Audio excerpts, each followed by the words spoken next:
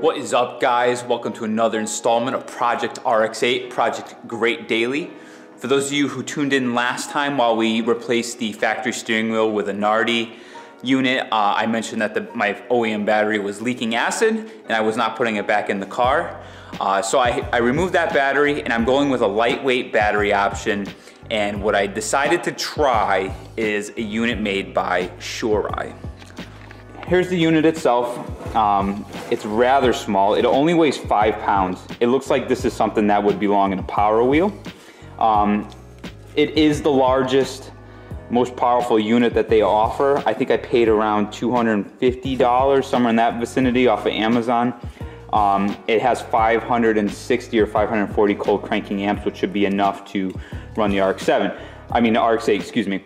Now, I have read reports of NSX owners using this, and I have a personal friend who uses this in his Toyota MR2 Spider, and he's had good results with it.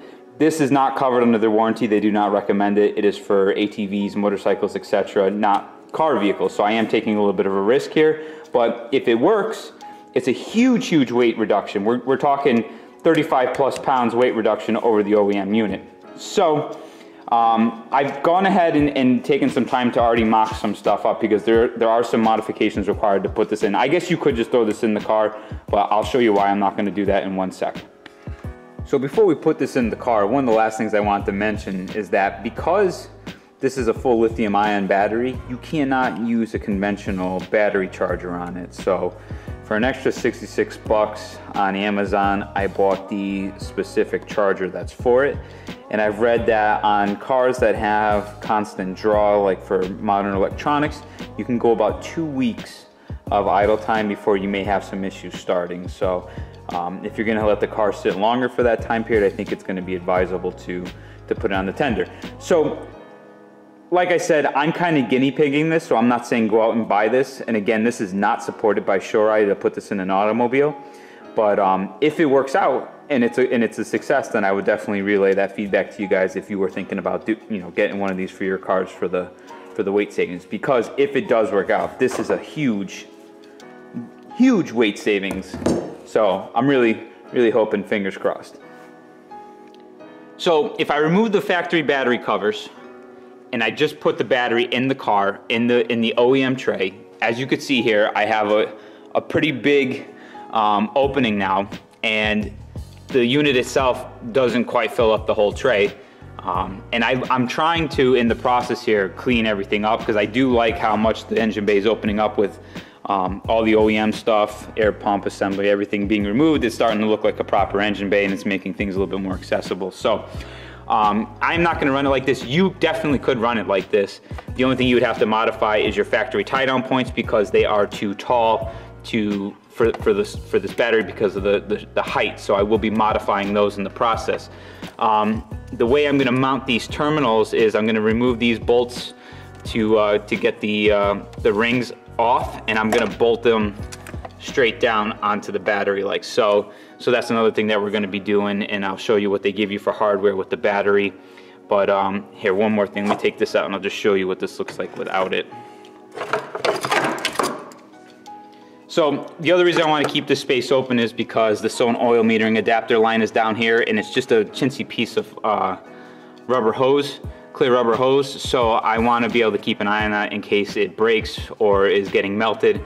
Um, so that's the other reason why I want to I want to have a little bit more visibility. So what I've done here is I've mocked up the factory battery tray. It's actually a pretty strong piece. It's a uh, you can see it's a fiber reinforced plastic, and you can see all the fiberglass weaving through it. Um, so I've marked it. I'm going to actually just cut it, and I'm going to cut it in a way where I can reuse the OEM mounting points, and then but I'm sure I'm taking off from here over, still leaving this backside basically just giving me enough to rest the battery in here and then and then open up everything else around it. So that's how I'm gonna be modifying it. These are cheap if you want to go back to a stock one, so I don't really care about cutting up my, my stock one for this install. But uh, we're, we're gonna start there and then I'll show you what we gotta do to modify the battery tie down.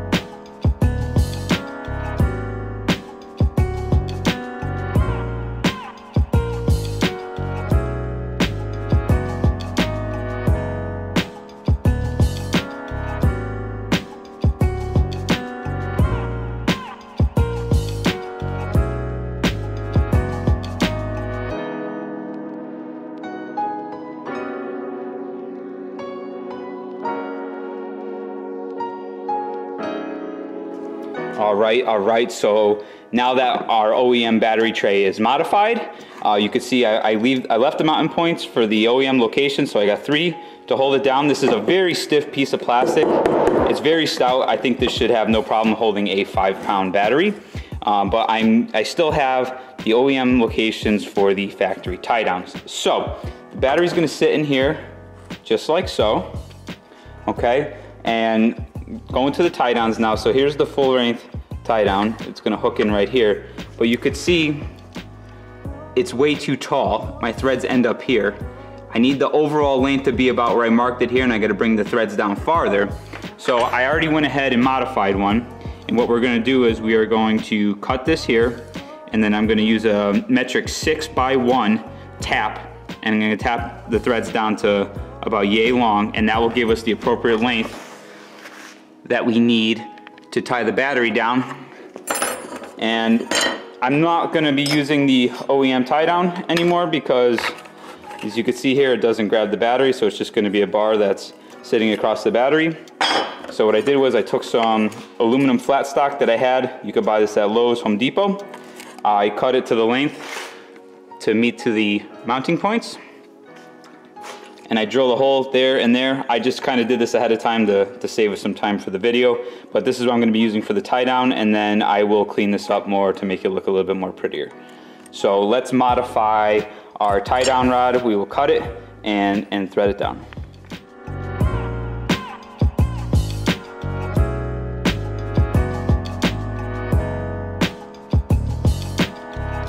So as you can see, I rounded the end here so I have somewhere to start with the tap and I can, it'll just make getting the tap going a little bit easier. So I'm gonna clamp it down here to a vise. And I marked where I wanna bring my threads down to to match the other one. So nice and tight. Start with our metric six by one tap. Try to get it going as straight as we can here. Okay, that looks pretty straight. So I'm gonna take my tap tool here, put it on, and just start working it in nice and easy, backing up a little bit to clean up any gunk.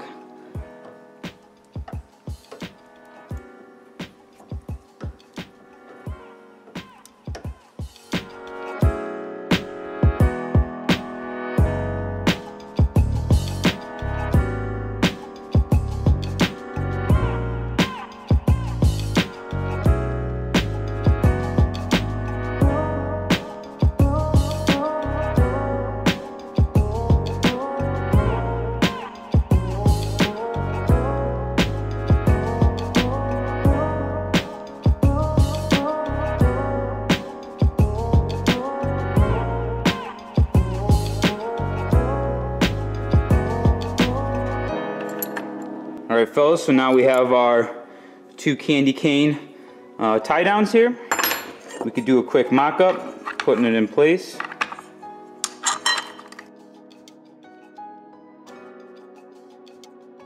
So we'll position it right about there. All right. Not bad, not bad.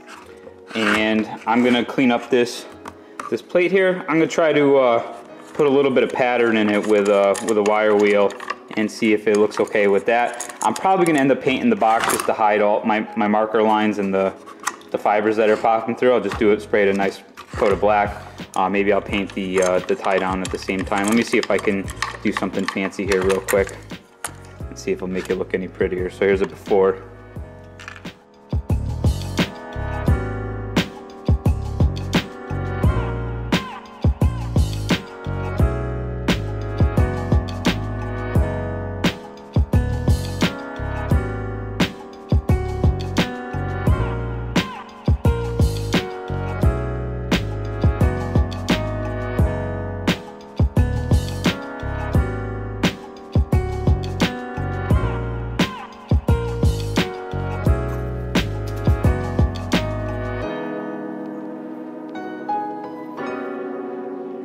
So overall, not too bad.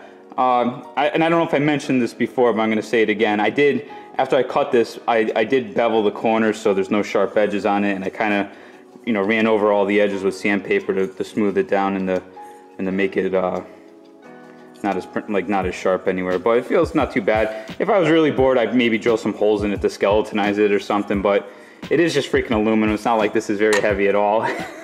so I'm gonna run this as is, I think, for now. But I still think I will spray the box with just a quick coat of black to uh, uh, make it look just a little bit a little bit more pretty. So the next step in the process is we have to put our hardware to the, uh, well actually I don't know if I'm gonna, I gotta, let me, let me take a minute here and just figure out exactly how I'm gonna bolt the terminals to this. They did, they do supply different adapters for here, but I don't even think I need to run them. So uh, be right back. All right, so here's the solution that I've come up with. So I have my battery mocked up, how it's gonna sit in the car. And I actually have these aluminum spacers that were just kicking around for God knows how long. Uh, you can achieve this same result with just some washers, but you could, as you can see, it, it's almost the same overall diameter as the contact terminal. I'm going to take some old S2000 uh, valve cover grommets and I'm going to use these as like kind of like a washer. Stainless steel metric 6x100 bolt and it's going to go through the terminal link penetrate through and then it's gonna hold it in like so and then the washer will be will look like that with the terminal sandwiched in between it. It'll just look kind of pretty and uh, will do its job and it'll make good contact. So those are the, uh, the three items we're aiming for. So now I have to go, like I said, I gotta remove those, uh, the, the, the terminals off of the OEM battery harness. So here are the factory terminals removed. I didn't bring my camera over there because it's plugged in right now because the battery is dying on it. But uh, it's just these 12 millimeter nuts, uh, the headed nuts that hold them on. The ground side has grounds connected to it, so just make sure when you go to tie them, the battery in that you run the grounds through the through the bolt as well. But that's it for this. So I'm going to paint the box, clean it up, and then we will throw it all in the car and see if it starts.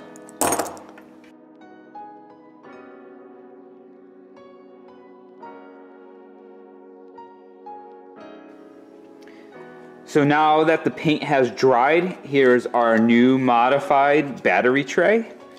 Uh, not too bad. Just a quick, uh, quick couple coats of uh, Rust-Oleum. I think this is engine enamel. I just had it laying around. So the end result here is that the battery is going to mount just the way the stock battery does, and it's going to sit just like this. And the tray is, is long enough, same width as the battery. So it minimizes the space, keeps it as light as possible, but we still have all three factory mounting points like so for stability. Here's our finished uh, $5 tie down. I'm probably just gonna run this for a little while and I'll see if it pits or tarnishes. Uh, modified candy canes for the, for the reduced height. And for hardware, I always like to keep, whenever I go to Lowe's or Home Depot, I buy stainless metric six, like just common metric bolt sizes, so I always have them on hand uh, and nuts and washers as well. So I'm gonna be using these to lock it down because the other ones had acid leaked onto them and they're all corroded and look like doo-doo. So let's, uh, let's go ahead and, and put this girl in the car.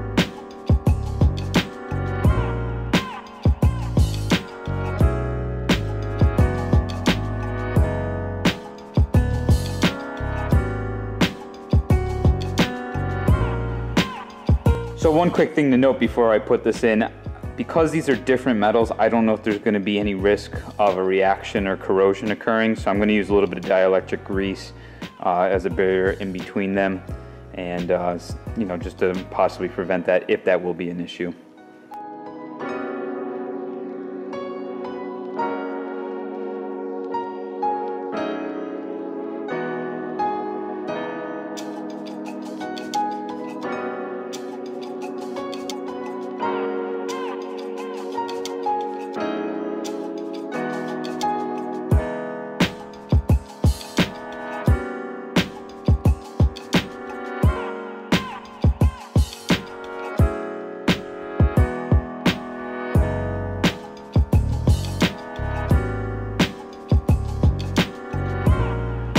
Right, guys, so here is the moment of truth. Now, I didn't do any charging of this battery. This is exactly how I received it. Um, I'm probably gonna throw it on the tender after tonight just because I'm just gonna try to start it real quick and see if it actually starts the car.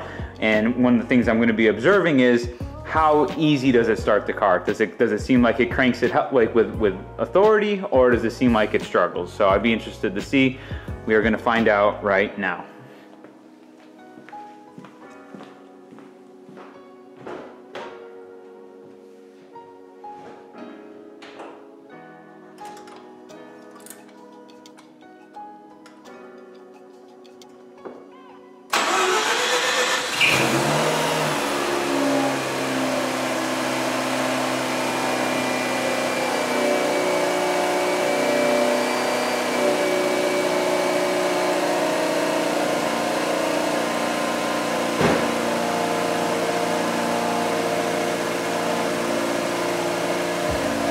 Look at that, not bad.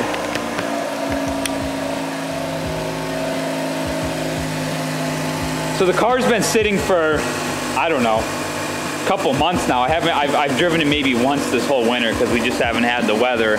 And um, that started pretty good, cold start, fired right up. Uh, sounded healthy. Again, it's 540 cranking amps with this unit. It's the it's the highest model that Shorai makes. So we'll see how this goes. It's, uh, it's definitely gonna be interesting to see and uh, I'll let you guys know. I'll probably do a follow-up just to let you know how it, how it works out in the long run. Uh, if it doesn't, then I'm out 250 bucks for a battery, but at least we explored it and uh, gave it a whirl. So that is it for this one, guys. Thank you so much for tuning in. If you like what you see and you like this channel, please like, comment, and subscribe. It really does help it. Um, people don't ask that for no reason. I didn't want to be a person to ask that, but I'm going to ask you. If you like it, leave a like and leave a comment, and uh, it definitely helps the videos get pushed and, and, and, put out there, so I really do appreciate that. But thank you so much again, and uh, stay tuned for the next installment for Project RX-8, Project Great Daily. That's it for this one, guys. Done.